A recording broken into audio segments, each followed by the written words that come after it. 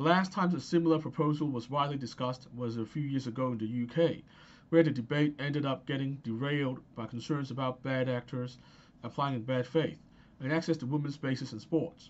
The willingness of activists to discuss possible compromises lost us support. The reform ended up getting dumped, and the gender critical movement was empowered in the process.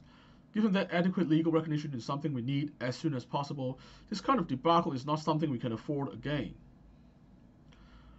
What the activist establishment needs to recognize is that the dire situation right now means that we really need this protection, and we don't have the luxury of making enemies out of regular people who have reasonable concerns.